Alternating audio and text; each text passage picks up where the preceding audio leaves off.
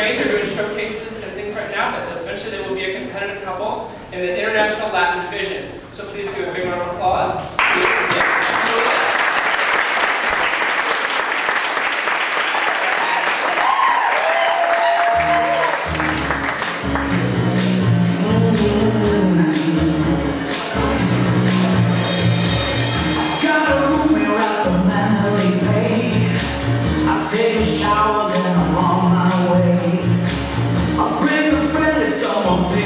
fight here in Las Vegas tonight.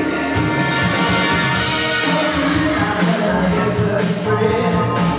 The maiden voyage of my Vegas trip